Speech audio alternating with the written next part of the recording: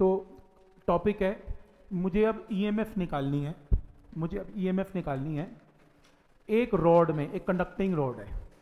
और वह conducting rod अब रोटेट कर रही है, गोल घूम रही है तो आप इस फिगर में बना लें, ये रोटेट कर रही है विद ओमेगा ओमेगा के साथ रोटेट कर रही है। A point to be noted magnetic lines of force इसके अंदर से पास कर रही हैं।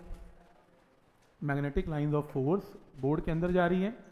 और ये रॉड उन परपेंडिकुलर लाइन को कट करता जा रहा है गोल। और जब भी वो कट करेगा फेराडे ने क्या कहा था? ईएमएफ डेवलप हो जाएगी। सही है? तो जब वो लाइंस को परपेंडिकुलर लाइंस को कट करेगा तो ईएमएफ जनरेट हो जाएगी। अब क्वेश्चन वही है रोटेटिंग रॉड के अंदर ईएमएफ कितनी डेवलप होगी पी और क्यू के बीच में? ये क्वेश्चन है। अब इसके लिए कोई नया फॉर्मूला नहीं है मेरे पास। इसके लिए मैं एक काम करूँगा मैं यहाँ से इस रॉड का एक छोटा सा एलिमेंट लूँगा dx ये रहा। इस एलिमेंट की दूरी यहाँ से क्या लूँगा? x तो जब ये रोटेट करेगा तो इसकी टेंजेंशियल वेलोसिटी क्या होगी? v is equal to r omega से v is equal to x omega इस एलिमेंट की अलग होगी, इसकी अलग इसकी अलग, क्योंकि x की वैल्यू हर एलिमेंट की डिफरेंट है। तो टेंजेंशियल वेलोसिटी डिफरेंट है। तो इस एलिमेंट की लेंथ dx है, इसकी वेलोसिटी v है और ओमेगा के साथ घूम रही है। तो इस स्मॉल एलिमेंट में स्मॉल ईएमएफ क्या डेवलप होगी? बीएलवी का फॉर्मूला लगा लो। मैग्नेटिक फ़ील्ड बी है और लेंथ कितनी है? स्मॉल एलिमेंट की dx है और वेलोसिटी टेंजेंशियल क्या है इसकी? V है। देख रहे हो? इसके अलोंग ईएमएफ आ गई स्मॉल बीएलवी और v का फॉर्मूला क्या पुट कर सकते हैं यहाँ पर? एक्स ओमेगा x ओमेगा और टोटल ईएमएफ निकालने के लिए तुम इन्हें इंटीग्रेट कर दो। B और ओमेगा कांस्टेंट है एक्स की integration x square by two और एक्स की जगह एल पुट करो।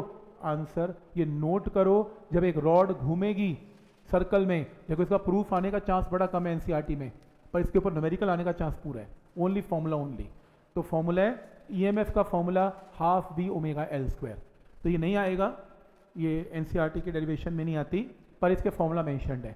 जब एक रॉड घूमेगी मैग्नेटिक फ़ील्ड में तो ईएमएफ का फॉर्मूला क्या होगा? Half B omega into L square याद रखना, ये न्यूमेरिकल में बहुत काम आएगा।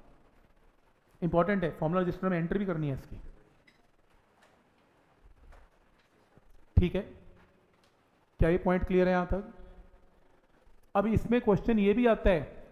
क्वेश्चन देखो, इसमें ये भी आ जाएगा कि अगर मैं इसे घुमा रहा हूँ और ईएमएफ डेवलप हो रही है तो इंड्यूस करंट की डायरेक्शन बोलो क्या होगी?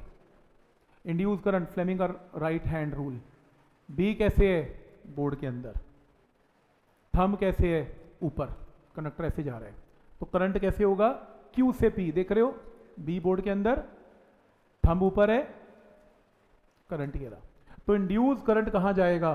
क्यू से पी और इंड्यूस करंट हमेशा कहाँ से कहाँ जाता है? नेगेटिव से पॉजिटिव तो क्वेश्चन में पूछेगा, कौन सा हाई पोटेंशियल पे है? पी की क्यू पी हायर पे और क्यू लोअर पे क्योंकि पी पॉजिटिव और क्यू लोअर है। तो समझ में आ रहा है यहाँ तक कि क्या लॉजिक है इसका?